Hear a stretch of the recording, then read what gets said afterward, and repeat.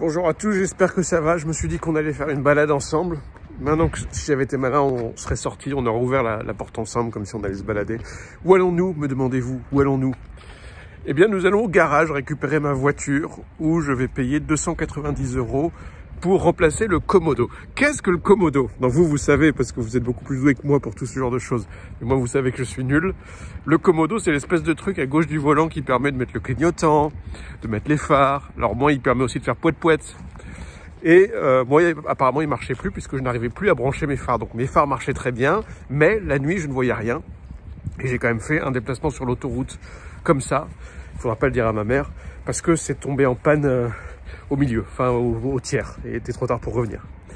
Et là, j'ai le soleil dans la gueule. C'est joli, mais voilà. Donc je me suis dit qu'on pourrait ensemble faire une petite balade pour aller jusqu'au garage. Alors vous allez voir, c'est joli. On va, on va longer l'autoroute.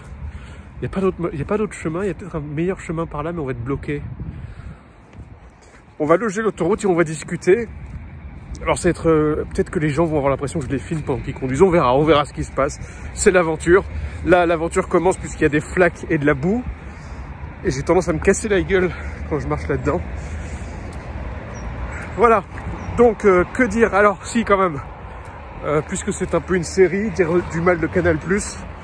Moi, je, suis enfin désabonné. C'est le premier jour où ça ne marche plus. J'en suis très content parce que je vous avais parlé de mes misères sur le fait qu'ils avaient mis des trucs que je voulais pas. C'était impossible de se désabonner parce que j'avais laissé passer la date. Non, d'ailleurs, c'était le jour de la date où j'ai essayé de me désabonner. Ils m'ont dit, ah, ah, ah. et après, ils m'avaient mis des, options que je voulais pas. Et ça me recoûtait extrêmement cher à un moment où j'avais pas beaucoup d'argent. Et là, j'ai une copine ce matin qui m'a dit, ah, je me suis abonné à Canal. Je lui ai dit, bah tiens, fais gaffe. Elle me dit, oh non, j'ai juste pris l'abonnement, euh, l'abonnement en ligne sur un ordinateur. Je lui ai dit, fais gaffe. Et au moment où je lui parlais, elle est allée vérifier son abonnement, elle s'est aperçue qu'il lui avait collé un abonnement supplémentaire pour Canal Plus Série qu'elle avait jamais demandé pour je sais plus combien, 30, 28 euros par mois, qu'elle avait jamais demandé. Et donc elle a pu l'annuler sur le coup, tout de suite, mais c'est-à-dire que si elle n'était pas allée regarder, euh, si elle avait laissé passer le mail, elle était abonnée, comme moi, elle pouvait plus s'en défaire pendant probablement un an ou quelque chose comme ça. Voilà, c'est Bolloré et compagnie, ils en ont plus rien à foutre. Je pense que le paysage cinématographique et audiovisuel va changer. On le sait maintenant, c'est la folie des, des, systèmes payants, des systèmes d'abonnement euh, dont Netflix était le modèle, qui se multiplient. On ne sait plus ce que va devenir le cinéma. Et Canal Plus n'était pas habitué à ça, et là ils sont en train de devenir fous. C'est-à-dire qu'ils euh, sont en train d'utiliser mais vraiment des méthodes. Euh... Alors, ils sont pas les seuls. Ils sont pas les seuls. J'ai essayé de vous désabonner d'Orange aussi. On ne peut pas se désabonner en boutique. C'est-à-dire qu'on peut s'abonner en boutique, il n'y a aucun souci, mais pour se désabonner, il faut envoyer euh, la copie de je sais plus quoi, le machin, tout ça en courrier recommandé. Parce qu'ils espèrent que le temps que tu fasses ça, ça va faire un mois d'abonnement en plus. Quand tu n'es plus leur client, ils en ont plus rien à foutre de toi. Ils, ils sont cons. Ils sont cons parce que ça rend le monde plus compliqué pour tout le monde. Ah, bah, vous savez, moi je suis un grand, un grand nostalgique du service public. Je pense qu'on va tous l'être. Hein. Je pense que avec ce qui va nous tomber sur la gueule en termes de de, de, de, bah de, de, problèmes énergétiques, c'est-à-dire de ne pas avoir assez d'énergie pour le train de vie qu'on a actuellement, il va falloir un moment être beaucoup plus planificateur. Il va falloir, parce que là on a pu privatiser parce qu'on était dans la privatisation à fond, on avait les moyens de le faire. Mais là, à mesure qu'on va avoir moins d'énergie, moins d'argent, qu'il y avoir plus de crise, il va falloir plus se serrer les coudes. Et je vous assure que ça va, ça va devenir de plus en plus important de s'assurer que les services de base soient faits non pas pour le profit, mais vraiment pour le bien de tous. Et les services de base, bah, c'est le chauffage, l'électricité, le transport, la communication, ces choses-là. Et euh, on va être obligé de revenir à des modèles un peu plus... qui font un peu plus de sens. Parce que là, c'est vraiment chacun pour soi. Et les entreprises n'ont plus rien à foutre de votre gueule. Donc vous voyez, c'était pas très loin, on est déjà au garage. Alors je vais quand même pas aller me filmer pendant que je récupère ma bagnole. Euh, on va faire un tour, tant pis, on va faire un tour. Nous sommes dans la zone industrielle de Touques. C'est vraiment mon coin préféré de la Normandie. Euh, là où il y a les bagnoles, les usines. Là, là qu'est-ce que c'est? Là, c'est une usine de vomi là-bas, qui fabrique du vomi. Euh, là, c'est quoi? C'est des sacs à merde, oui, c'est ça. C'est très joli, c'est vraiment, vraiment bucol bucolesque. J'ai pas envie de dire bucolique, parce qu'on a déjà parlé de vomi, on va laisser la colique de côté, mais c'est bucolesque. Avec le soleil que j'ai dans le dos. c'est pas si mal, hein, c'est pas si mal. Et puis il en faut bien, je suis pas contre. C'est juste que voilà. Voilà, c'est juste que voilà. Que dire d'autre? Je suis dans la comptabilité. Toutes ces choses obligatoires qu'on a à faire. Je suis un peu dans la merde en termes de trésorerie personnelle et professionnelle. Oh, non, ça va, ça va aller, il a pas de souci. Mais c'est la fin d'année et c'est vraiment un problème de trésorerie. C'est-à-dire que c'est pas un problème d'argent, c'est un problème de trésorerie. C'est-à-dire que c'est un problème d'argent immédiat, euh, pas un problème d'argent dans le futur.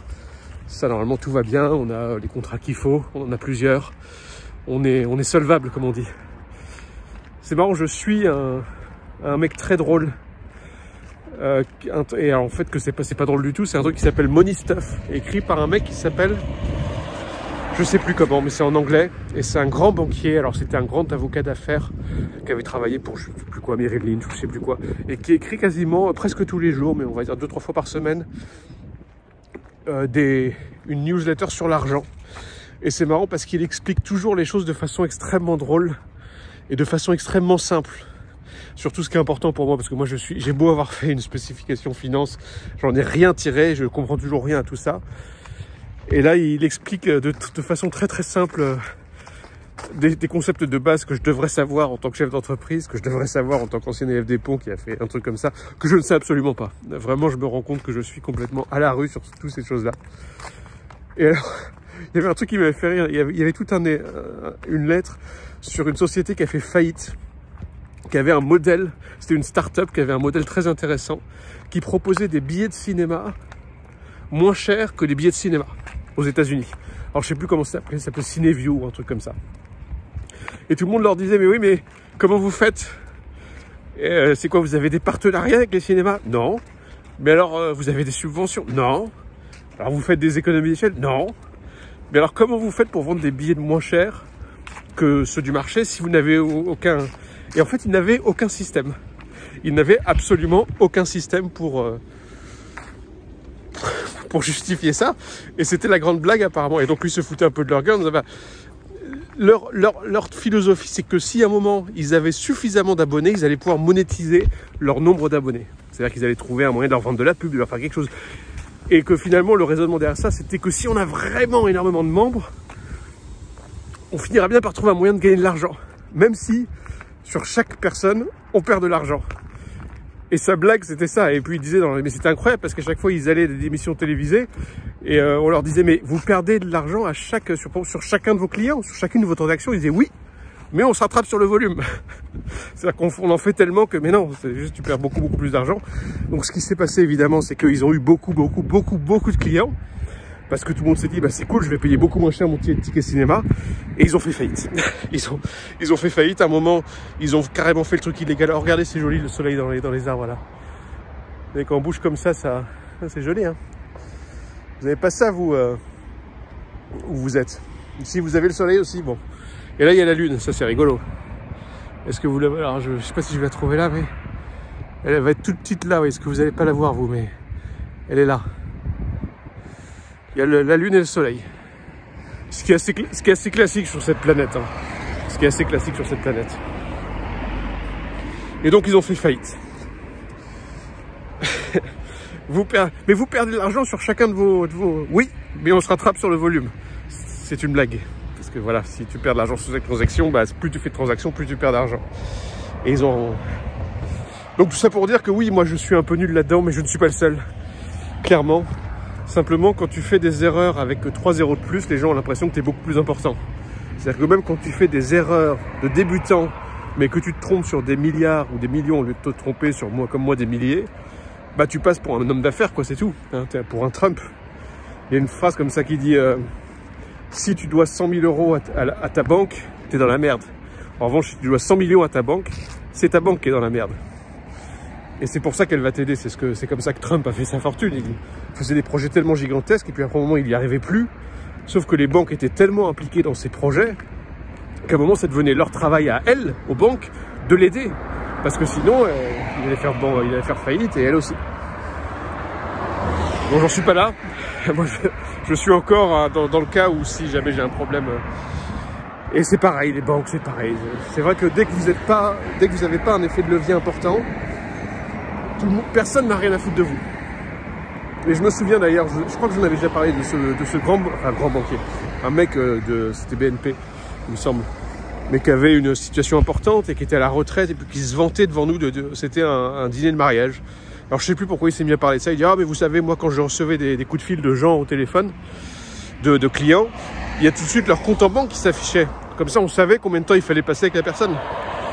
Donc si c'était un millionnaire, bah oui on pouvait un peu lui parler. Si c'était un mec qui avait 10 000 moments on avait rien à foutre, on, on l'envoyait chier. C'est pour ça que le service public c'est utile. Cette idée qu'on met de l'argent en commun euh, auprès d'un État et qui nous doit des choses parce qu'on est des êtres humains, on est des, citoyens et non pas parce qu'on a euh, des poches profondes ou parce qu'on euh, on peut, Voilà. Mais ça aide tout le monde en plus. Hein. Même les riches sont bien contents d'aller à l'hôpital public plein de fois. Et ils sont bien contents d'être euh, euh, bah, d'être bien traités finalement, parce que même si c'est la catastrophe, même si c'est la crise, on reste quand même bien traité et soigné à l'hôpital public. Je suis au garage, les gens me regardent de travers. On se retrouve demain à 19h. Bisous.